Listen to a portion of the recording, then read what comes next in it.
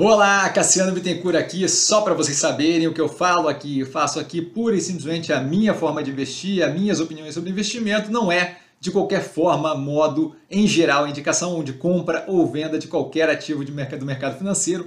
E agora o vídeo, valeu! Olá, Cassiano Bittencourt, pelo Visão do Estrategista, começando aí um final de semana de análises psicopáticas, várias e várias e várias milhões de divulgações de resultado. A gente começa com a Infracommerce, empresa de soluções digitais para e-commerce, explicado mais aprofundadamente no vídeo do IPO que está aqui embaixo na descrição desse vídeo. Tá o vídeo do primeiro aqui embaixo também, o vídeo do primeiro trimestre de 2023 com a comparação do cenário versus IPO, que a gente começou a olhar para a operação de novo. Segundo trimestre de 2023, a gente viu um alívio no cenário binário apresentado anteriormente. No terceiro trimestre de 2023, tivemos a decisão da entrada no ativo. Isso tudo para quem quiser poder acompanhar como é que a gente chegou até aqui. Tá? No primeiro trimestre de 2024, a operação teve troca de CEO e choque na operação. Tá? Desde então, a gente está estacionado nos aportes, sem aumento do risco é, alocado. Tá? O impairment, que é um ponto ali relevante que vale a pena com aprendizado em geral, está explicado no vídeo do trimestre passado, segundo trimestre de 2024.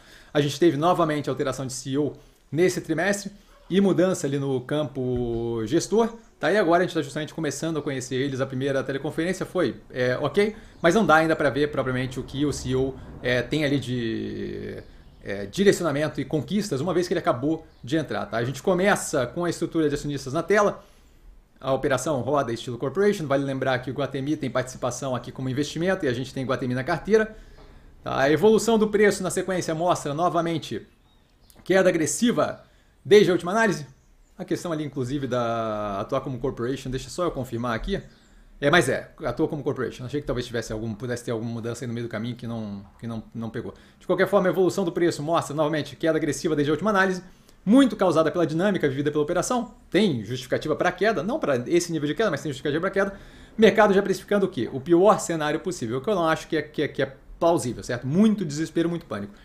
Dada justamente essa dinâmica, tá? no preço e as evoluções feitas pela operação entre o trimestre passado e esse, a gente tem a mesma dinâmica de avaliação do investimento no segundo trimestre de 2024, com algum nível de melhoria no cenário, tá? com a melhoria na tese.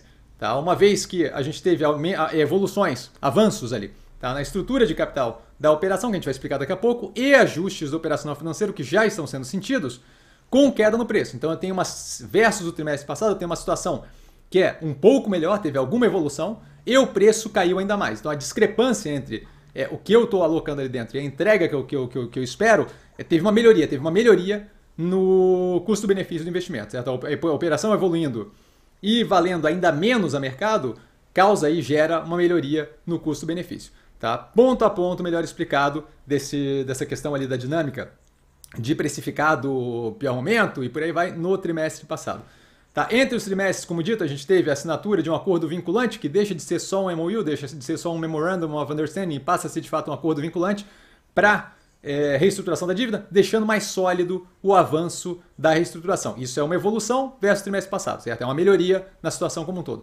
Isso com adesão de 85% da dívida até o momento, 641 milhões era na, naquele momento, tá? aqui vai bater um pouco mais, porque teve evolução da dívida nesse, nesse, período. De qualquer forma, naquela época, 641 milhões, aí na tela a gente tem justamente a estrutura como um todo, de modo que vocês podem olhar aí o ponto a ponto. Tá? 420 milhões desses 600 e tantos milhões são amortizados imediatamente, uma vez assinado o contrato, tá? pela passagem das ações da New Retail aos credores, ou seja, os credores passam a ser os donos da New Retail, não mais a operação aqui, eu estou dando como pagamento. Tá? Isso daí, vale lembrar, teve uma melhoria na avaliação versus anterior, que se não me engano estava em 370 milhões, como colocado na análise passada. Então é mais um ponto que teve uma melhoria versus a visão que a gente tinha no segundo trimestre de 2022. O restante, que aqui colocado como 249 milhões, tá, é substituído por um bonde emitido pela operação, quando da assinatura da operação, da, da, da coisa como um todo, esse bonde convers, conversível em ações pelo prazo de 5 anos. Então os credores têm todo o incentivo do mundo para que isso daqui dê certo, justamente para poder, é, muito provavelmente, ele ter um recebimento de uma operação que faça sentido médio e longo prazo e que remunere eles de uma forma mais, mais é, benéfica do que é simplesmente o recebimento da dívida. Tá? Isso vem com o auxílio de new money, de novo dinheiro, tá? para capital de giro, para giro da operação de 70 milhões. Esse auxílio dependia de algumas condições e já foi liberado a primeira parcela, o que mostra o quê? Mostra que as coisas estão andando num sentido construtivo.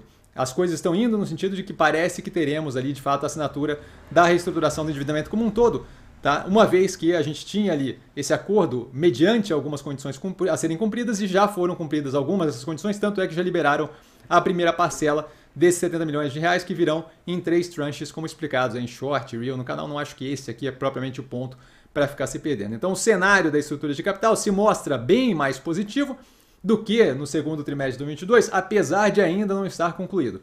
Certo? A gente tem como ver melhoria sem ter que acreditar que, ah, ponto, acabou, passou, tá tudo bem. No operação financeira, a gente também tem uma evolução versus o trimestre anterior.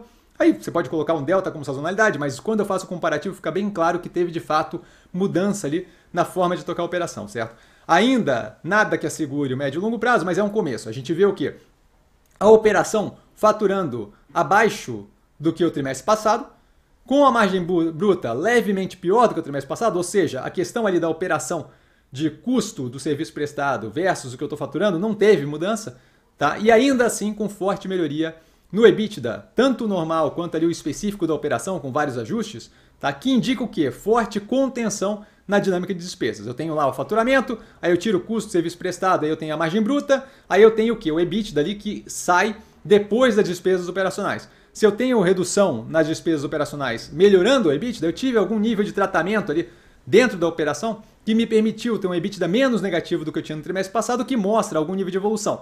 Qual é a parte que eu vejo como mais importante disso? A parte que eu vejo como mais importante disso é que a operação conseguiu continuar performando em níveis próximos ao trimestre passado no que tange faturamento e ainda assim com redução de custos na dinâmica de despesas melhorando o EBITDA, de modo que eu não precisava daquela da, do modo que eu estava operando antes, não precisava daquela estrutura que eu posso chamar aqui de mais, mais inchada, certo? E ainda assim eu consigo performar de forma mais eficiente, o que é uma melhoria na dinâmica, certo? Eu tenho um indicativo de forte contenção de dinâmica de despesa sem perda na capacidade de atendimento em patamares próximos. Isso é mais um ponto que é de evolução versus o trimestre passado. Ah, Cassiano, você está dizendo que está bom, que melhorou. Não, eu estou dizendo que teve uma evolução, que o cenário que a gente tinha no segundo trimestre agora se encontra com melhoria versus aquilo ali, certo? Como no segundo trimestre de 2024, continua sendo determinante a finalização da renegociação da dívida para a sobrevivência da empresa e a continuidade da melhoria da dinâmica de custos versus receitas para que eu tenha uma, uma operação que seja é, perene, para uma operação que esteja é, sustentabilidade, que ela não vá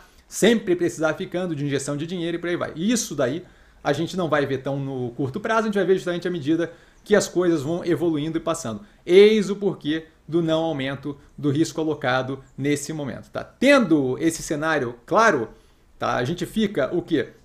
No aguardo de uma continuidade do desenvolvimento do planejado, tá? que significa a continuidade da reestruturação da dívida até o fechamento efetivo dessa operação, e a continuidade da reformulação da operação até que a gente volte justamente a ter um fluxo de caixa positivo, que como coloca a gestão é o foco principal, certo? Você quebra uma operação quando você não consegue gerar mais caixa do que você precisa pagar. E basicamente é isso, esse cerne no momento inicial aqui, tá? Com o capital alocado mantido, dado que o pior cenário já está precificado e agora a gente teve uma melhoria na qualidade da dinâmica da tese de investimento e uma piora ainda maior no preço, tá? E o risco versus benefício explicado anteriormente, que é justamente isso que eu acabei de falar, tá? Com melhoria versus trimestre anterior.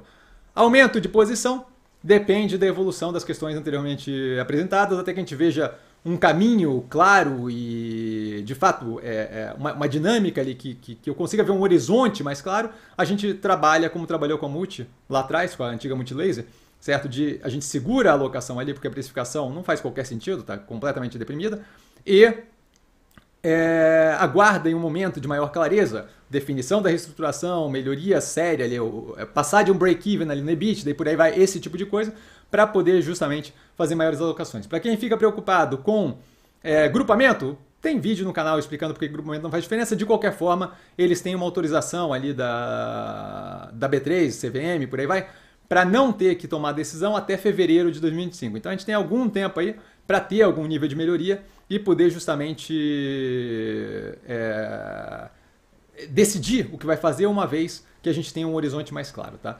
A minha posição está aqui do lado, tá? Então 0,78 ali, aumento de 38% total, desculpa, 1,70 início da, da operação, 1,45 125% de aumento da, da posição inicial, anterior, 1,23, 70% de aumento da posição total, 1,05, 49% da, da, de aumento da posição total, 0,78, 38% de aumento na posição total. Tá basicamente isso. E dúvida? Dúvida eu tô sempre no Instagram, arroba investir sim, só ir lá falar comigo, não trago a pessoa amada, mas tô sempre lá tirando dúvida e vale lembrar que quem aprende a pensar bolsa opera como um mero detalhe. Um grande beijo a todo mundo e nos vemos aí nas próximas análises. Valeu, galera!